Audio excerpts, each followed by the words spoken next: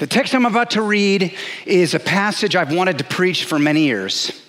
In fact, I feel like God's been having me write this sermon for a really long time. Now, I don't want to raise your expectations. That does not mean this sermon's going to be good, but it will be earnest, okay? It'll be earnest. And I'm going to read this, but here's what I want you to think about.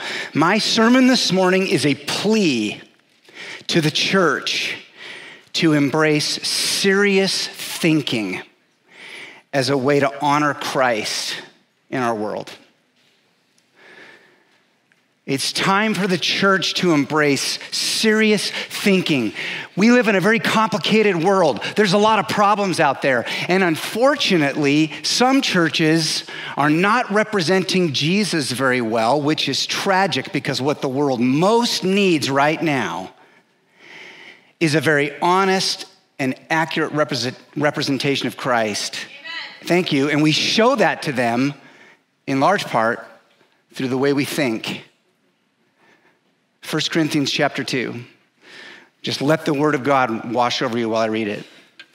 Yet among the mature, we do impart wisdom, although it's not a wisdom of this age or of the rulers of this age who are doomed to pass away. No, we impart a secret and hidden wisdom of God, which God decreed before the ages for our glory. None of the rulers of this age understood this, for if they had, they would not have crucified the Lord of glory. But as it is written, what no eye has seen, nor ear heard, nor the heart of man imagined, what God has prepared for those who love him. These things God has revealed to us through the Spirit. For the Spirit searches everything, even the depths of God. For who knows a person's thoughts except the Spirit of that person which is in him? So also, no one comprehends the thoughts of God except the Spirit of God. Now, we have received not the Spirit of the world, but the Spirit who is from God, that we might understand the things freely given us by God. And we impart this in words not taught by human wisdom, but taught by the Spirit, interpreting spiritual truths to those who are spiritual.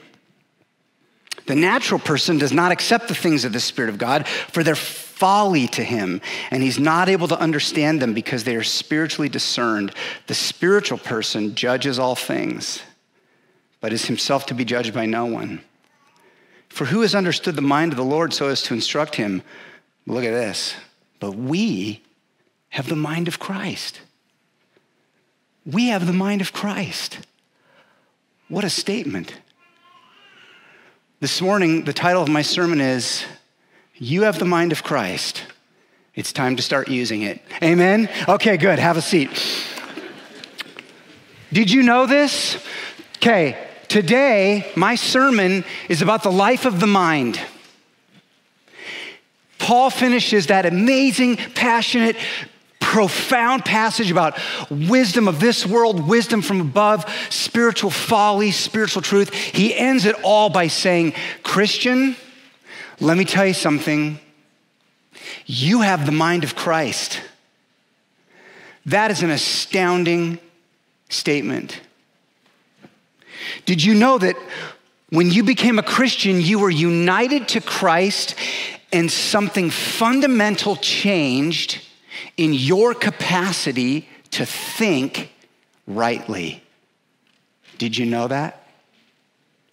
We've been in a four part series on a theme that is often neglected in the church. The theme is union with Christ. And what we've been talking about is you read the New Testament, and over and over and over, the, the writers of the New, New, New Testament, Jesus included, says, Here's the most basic way to understand who you are as a Christian you've been joined with Christ.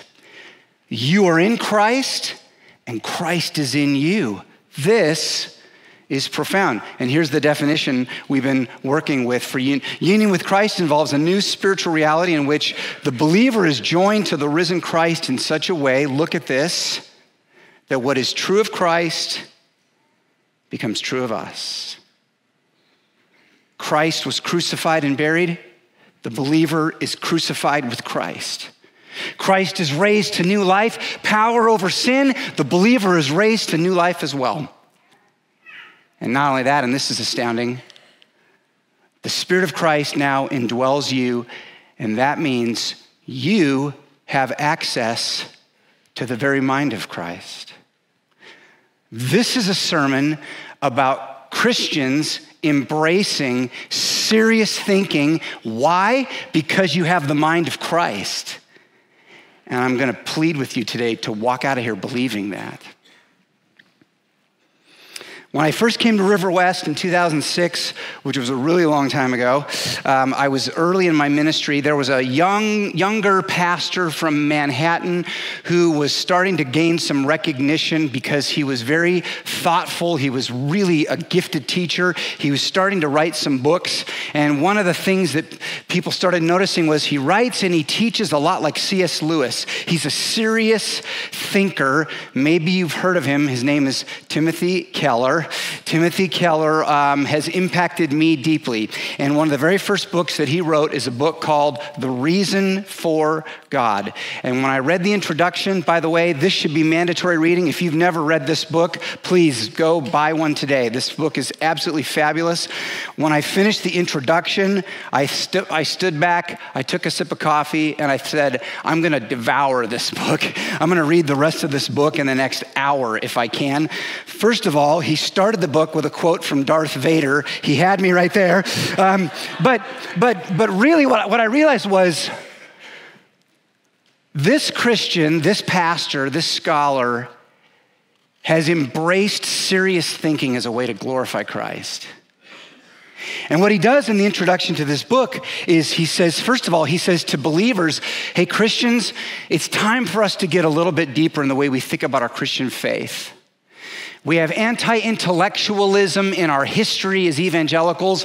We have to shrug that off. It's time to think deeply. Christianity does not require you to stop using your brain. In fact, you cannot be a Christian without really serious, deep thinking. And then he turns sort of the he turns sort of the, the arrows to the skeptic, and he says, Oh, and by the way, you skeptics, if you think you've rejected Christianity because you're so skeptical and, and thoughtful and deep, I'm going to challenge you. It's very possible that your skepticism is actually rooted in anti intellectualism as well. And so he challenges the skeptic. You have to think deeply. There are really good reasons for God. My sermon today is a plea to believers and to skeptics to think deeply. And by the way, skeptics, I know who you are because you look really skeptical right now. You're looking at me. your, your, your, uh, your brows are, you're looking very skeptical, okay? And what I'm gonna do, here's what I'm gonna do. I'm gonna show you in this passage, Paul says he takes the idea of the mind of Christ. You have the mind of Christ, which is an astounding claim. I'm gonna, I'm gonna unpack it. And he makes three connections and I'm going to put them up so you can think about this. He says the mind of Christ and the critical role of thinking in the Christian life. I'm going to talk about that. Then he says the mind of Christ and what I'm going to call the continental divide of the cross. Don't worry, I'll explain what I mean by that. The cross is like this massive dividing line in our culture and our world. And then he says the mind of Christ, and this is where I'll end, and we'll go to communion the non negotiable trait of humility. I'm going to end with a massive plea. I've been doing this a lot over the last six months to radical humility in the body of Christ. Amen? Okay, that's where we're going. Number one, the mind of Christ and the critical role of thinking. The very first thing I have to do is I have to expose a really bad idea, which is that the key to the Christian life doesn't have so much to do with thinking as it has to do with just faith. So if you ask the average Christian, what do you most need to be a Christian? A, a person would say, well, you need faith. Here's the problem we've inherited a definition of faith from people out there who are skeptical of Christianity, and this definition is really bad. I'll give you a couple examples. Here's Richard Dawkins. He says, Faith is the great cop out, the great excuse to evade the need to think and evaluate evidence. Faith, according to many unbelievers, is belief in spite of, even perhaps because of, the lack of evidence.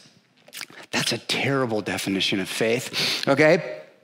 Mark Twain said it much more quickly. He said, Faith is believing what you know ain't so. All right? Does that sound like Mark Twain? And then here's one of my favorites, Sam Harris, who I absolutely love, but this quote is super obnoxious. He said, We have names for people who have many beliefs for which there is no rational justification.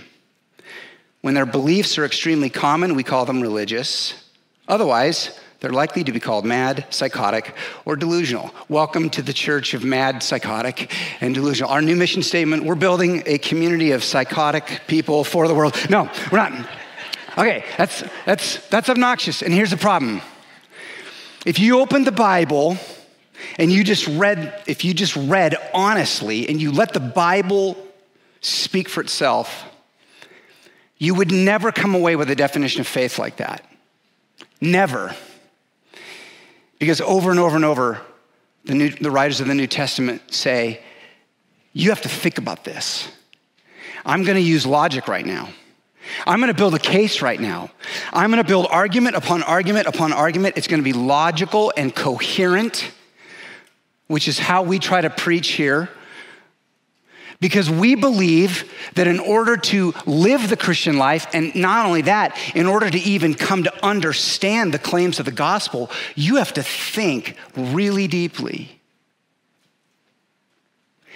Today is a plea to the church to embrace serious thinking.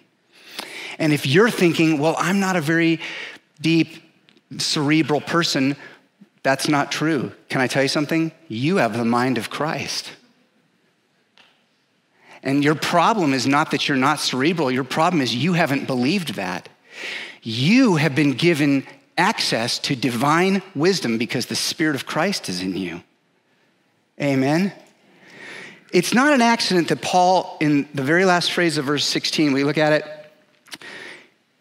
he says, You have the mind of Christ. Now you got to realize there's so many things that Paul could have said right at the end. He could have done all this stuff about wisdom and all this stuff, and then he, and then he could have said, But don't worry about it, just believe. It doesn't matter. Just believe. Or he could have said, he could have said, you, you have the Holy Spirit. Or he could have said, you're really wise. But that's not what Paul said. Paul said, you have the mind of Christ.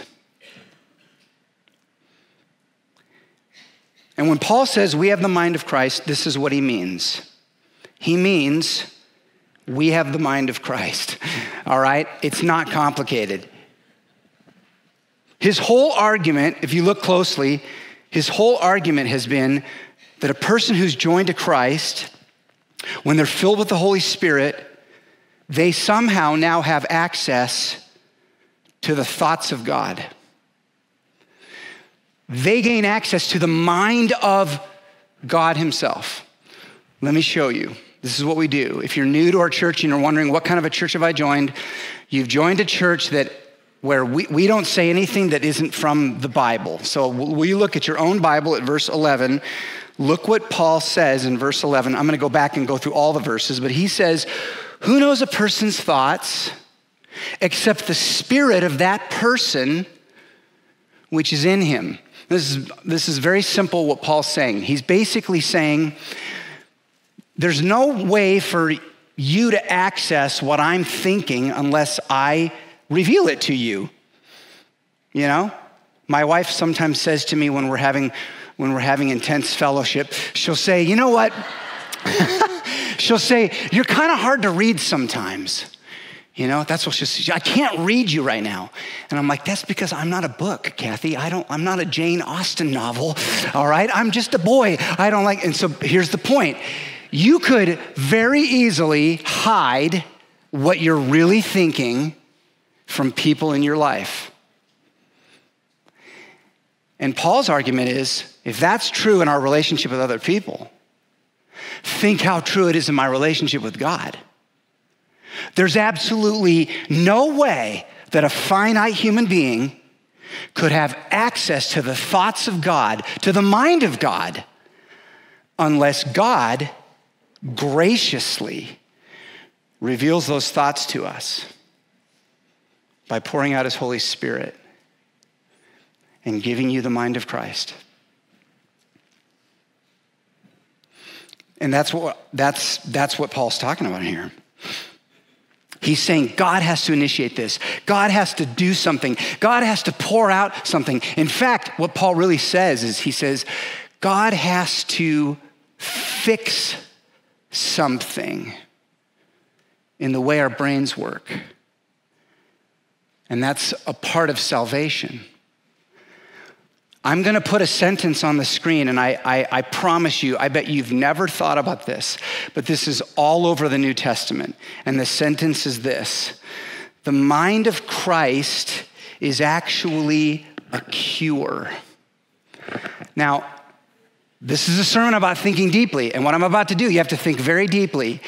The mind of Christ is a cure to one of the impacts of sin that we almost never talk about, which is, and it's all over the Bible, that sin stunts the ability to think rightly about the world and about God. Now, I realize this is not going to be very popular a couple of minutes here, especially if you're not a believer yet, but just bear with me. The idea is sin actually doesn't just affect my heart or my morality, it actually affects my cognitive faculties. And God has to fix that, He has to cure that. Let me show you where that is. Look very closely at verse 14. Paul says, The natural person, that's a person without the Holy Spirit, that person does not accept the things of the Spirit of God, for their folly to him. What Paul's saying is, until you get the Holy Spirit, the things of God sound really foolish. And so you don't accept them because we don't tend to accept things that seem foolish to us. But then look what he says next. Then he says, it's not just that they don't accept those things, he's not able to understand them because they're spiritually discerned. In other words, unless God graciously pours out his Holy Spirit on me, I would never be able to comprehend the things of God, including something as simple as the message of the gospel. I need a brain cure.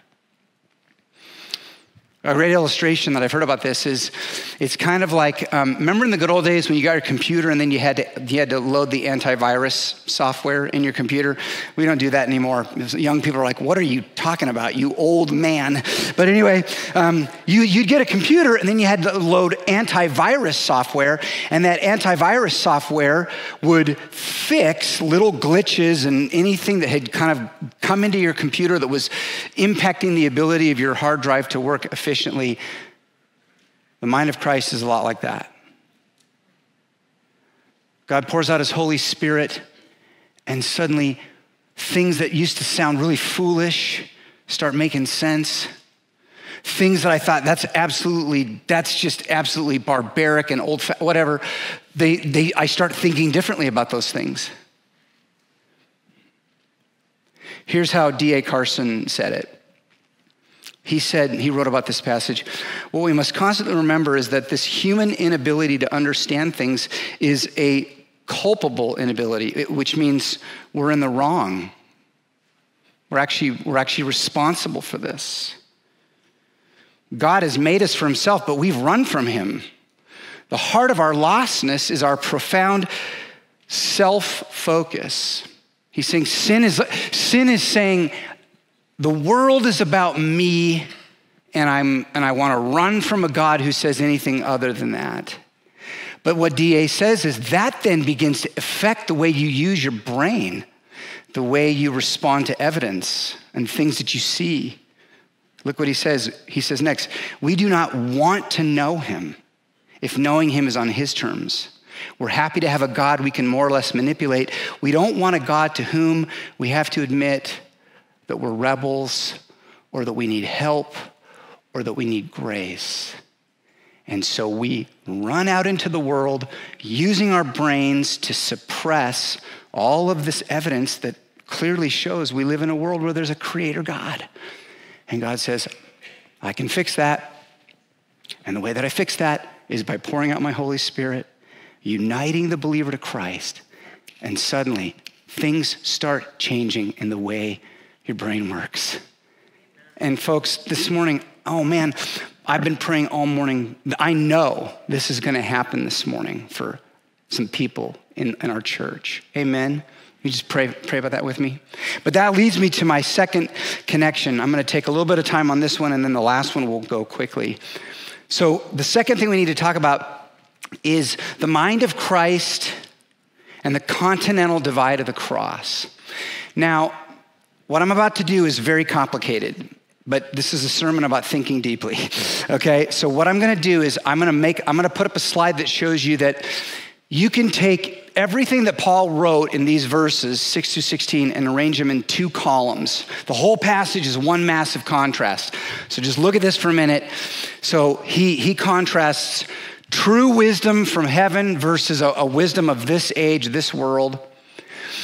He contrasts the mature, which is one of Paul's ways of just talking about a believer believers are the mature.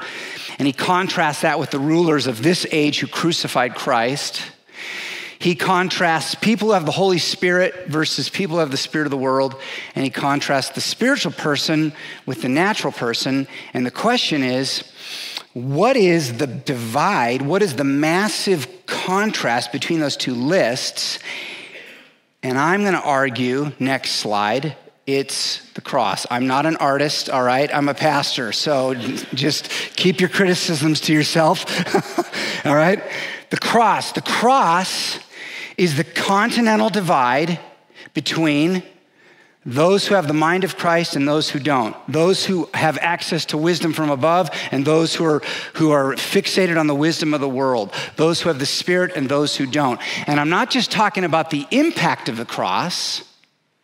I'm talking about the way that you think about the cross, the way that you respond to the cross. How do you react when you hear people in the church talk about the cross? Your emotional, intera- uh, uh, intellectual, visceral reaction to the cross tells you where you're at. Have you ever noticed? A lot of people are wearing crosses a lot today in our culture. That's a big fashion thing. They're everywhere. You see crosses all over the place. And I don't want to judge people by a cover, but some of the people wearing crosses, I'm like, I'm pretty sure you don't believe what that is, that symbol that you're wearing. The cross is kind of a radical idea. It's pretty, it's a big thing. And how you respond to that, Paul says, that's, that's the key. Let me show you. So basically, go to look, look at verse 6. Paul starts talking about two kinds of wisdom. And what you need to realize is that he's, he's already started this contrast earlier in the letter. And what I'm going to do is read you a couple of the verses back in chapter 1, and you tell me if you can sniff out what Paul's saying about the cross. Okay? Here's verse 17 and 18. Paul said, Christ did not send me to baptize, but to preach the gospel, and not with words of eloquent wisdom, lest the cross be emptied of its power. So Paul says, I've been sent to preach the gospel, but here's the thing you need to realize I do everything that I can to avoid sounding overly eloquent or using human forms of wisdom. And he contrasts that. He says, The reason I don't do that is that I don't want the cross to be emptied of its power. So he's making a contrast between worldly eloquence, sounding important, sounding impressive, even seeming like you're really wise in a worldly way, versus the message of the cross. And then look at the very next verse. For the word of the cross is folly to those who are perishing. But to us who are being saved, it's the power of God. People hear the message of the cross and they go, that sounds totally foolish. And some people hear the message of the cross and they go, that sounds like the most breathtaking good news that I've ever heard. Amen. So, what's the difference? And then now look at verse 22 to 24. This is so profound. Paul goes on, he says, Jews demand signs, Greeks seek wisdom, but we preach Christ crucified.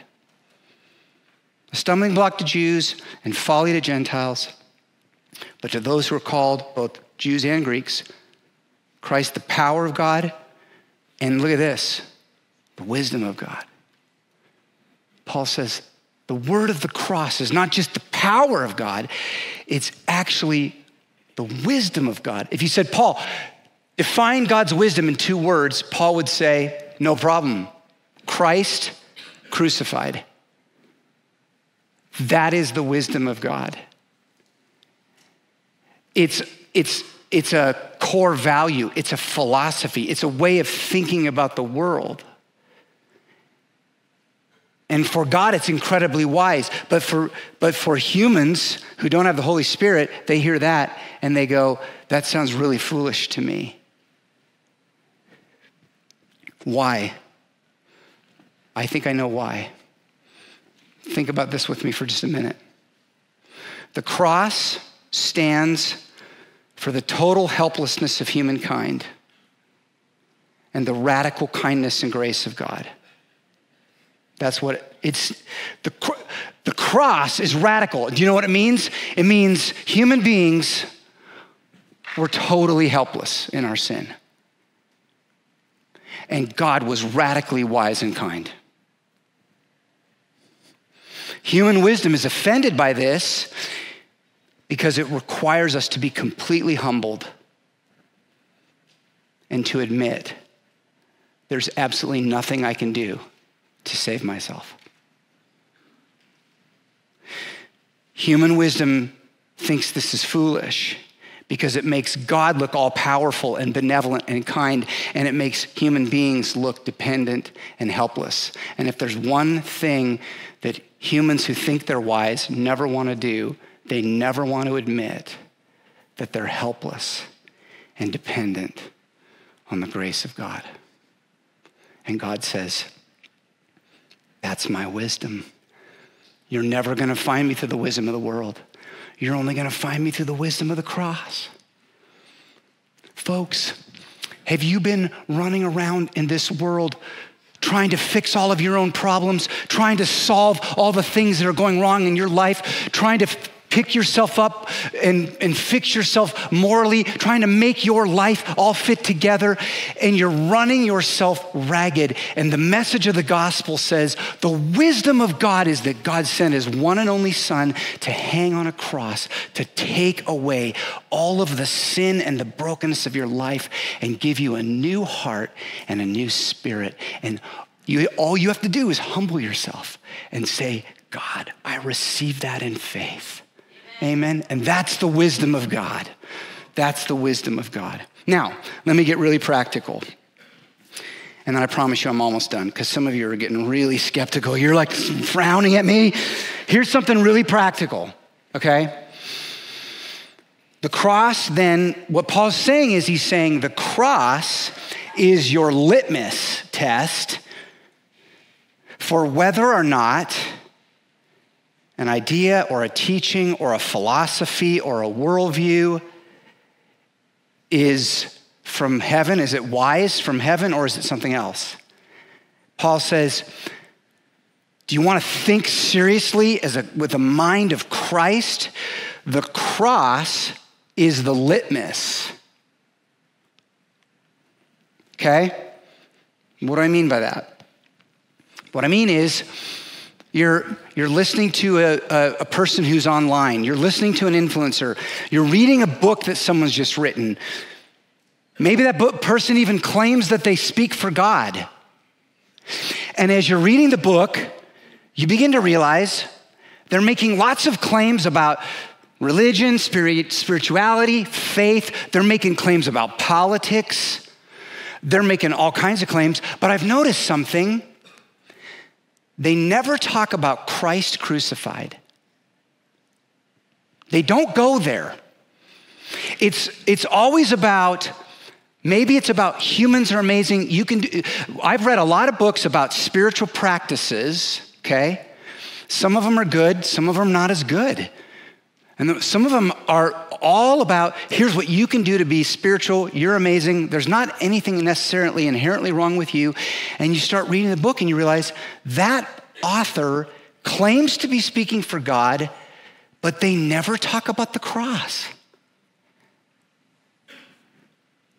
That book is not wise. That book is missing the heart of the gospel. Look at verse 8 for just a second. Paul talks about the rulers of this age, okay? And what I, what I want you to notice about that is when Paul talks about the rulers of this age, a modern equivalent would be thought leaders, influencers, people who have a blue check by their by their, you know, by their name on social media. These are people who are putting out ideas. These are people who are thought leaders. These are the intelligentsia of society. And Paul would say, if they don't treasure the cross, because the rulers of this age clearly didn't, because they crucified the Lord of glory. Paul says that's one of the ways you figure out I'm sort of sniffing out. This is a little weird.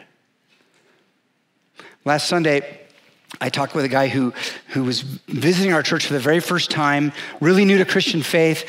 He walked in, he sat through the whole service.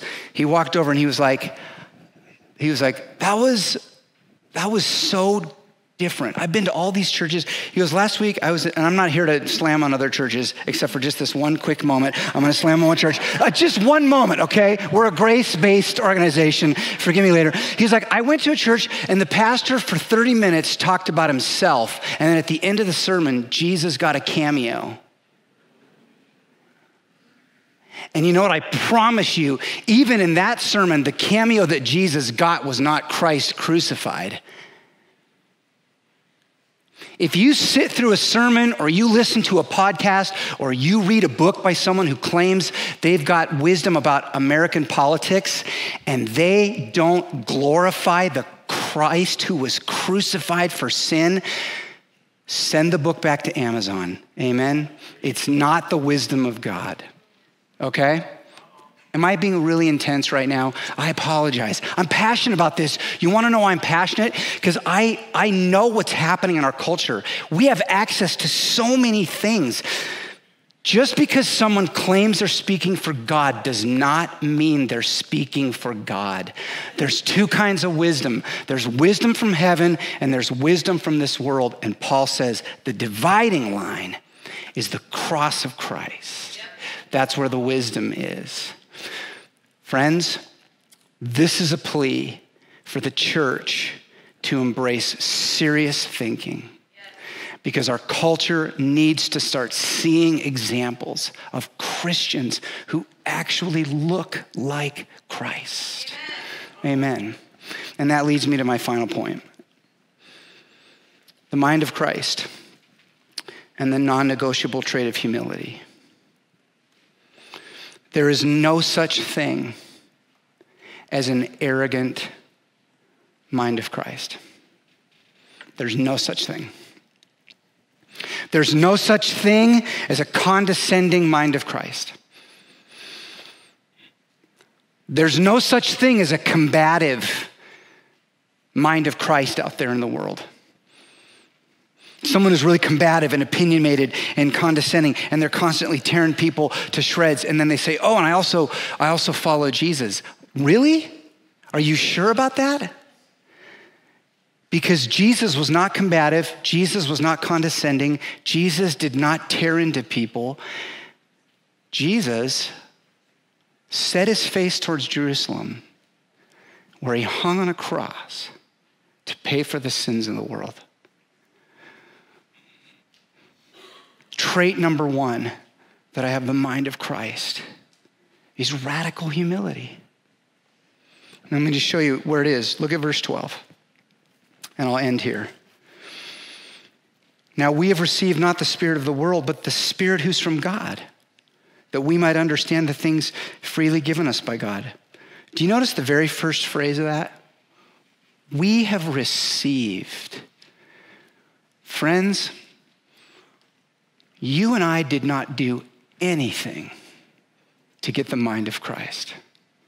It was a gift from a gracious God who poured out his Holy Spirit. And how I pray that happens this morning for some of you. Will you bow your heads with me? I'm going to have the worship team come and I'm going to pray. Heavenly Father, it is so good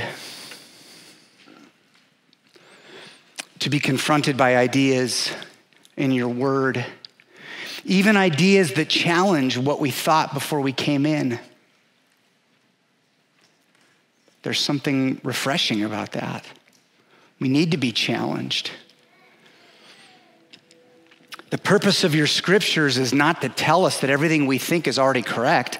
The purpose of your scriptures is to help us see things through a different lens, through the lens of your wisdom, God, through the lens of your Holy Spirit. And so, Father, may we be today, in all humility, may we be a church who begins to think seriously with discernment.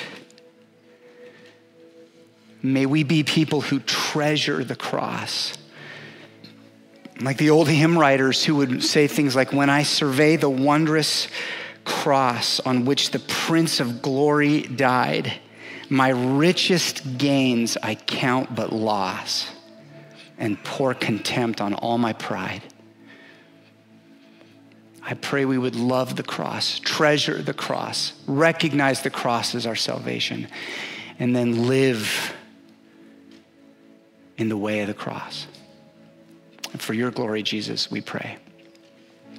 Everyone said, Amen. I'm going to invite you to the table this morning um, to get the bread and the cup.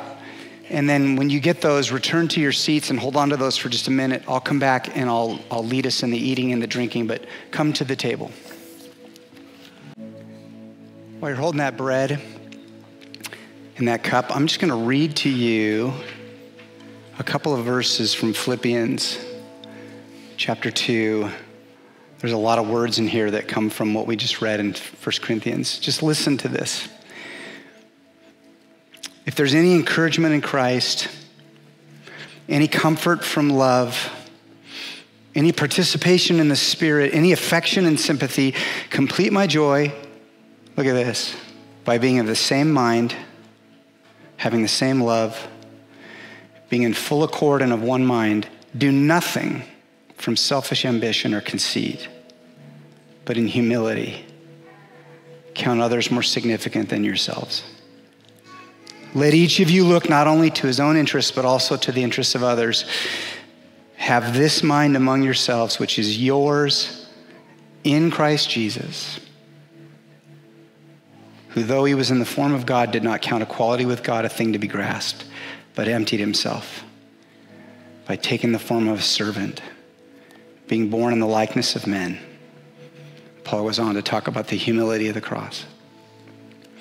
And so this moment is really, it's, it's many things, but it's, it's a moment where we embrace a lifestyle of total humility like our leader. And every time we gather, the meal is meant to give us courage and strength to walk out the door and live radical lives of humility where we think deeply about Christian things. And so, will you take that bread, the body of Christ, and let's eat together?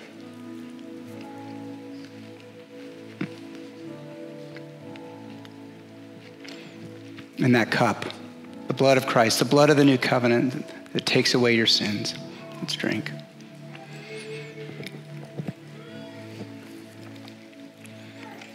Amen.